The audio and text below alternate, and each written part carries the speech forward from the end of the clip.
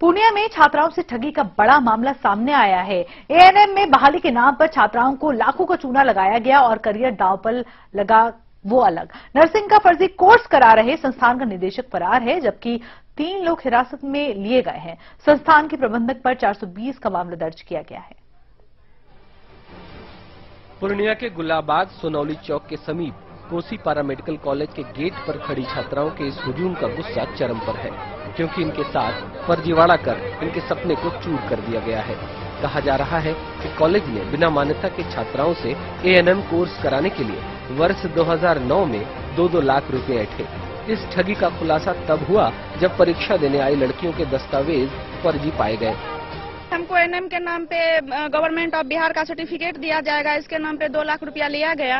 और जब हम रसीद रखना चाहे बाद में तो जब पूरा रुपया हम उसको पे, उनको पे कर दिए तो रसीद को फाड़ के सिर्फ़ नो ड्यूज बना के वो दे दिए। और कितना से तो नो ड्यूज भी ले लिए हैं, नहीं दिए हैं।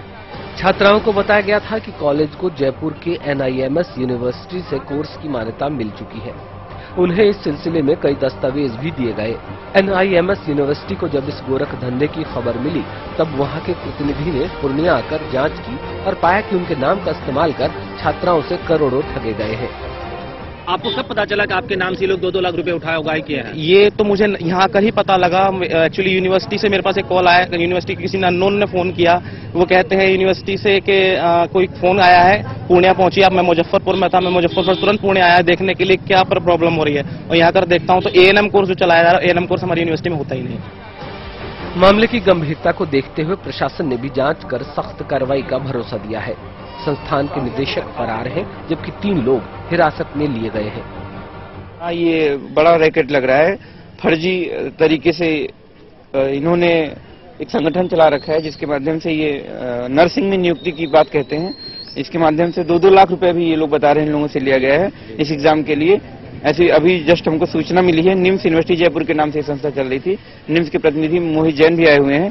तो यूनिवर्सिटी से फ़ोन आया अभी फैक्स आ, आ रहा है उसके हिसाब से रिपोर्ट की जाएगी। इन लोगों को ले जाया जा रहा है थाने दो तीन लोग पकड़े भी गए हैं। इसमें पूरी और जो जो दोषी है सबको पकड़ा जाएगा गिरफ़्तार किया जाएगा। नर्सिंग का फर्जी कोर्स कराने वाले इस संस्थान ने बिहार के 22 जिलों के नए पुराने नामांकन के साथ कुल 460 छात्राओं के साथ ठगी की है। राजेश शर्मा सहारा समय पूर्णिया।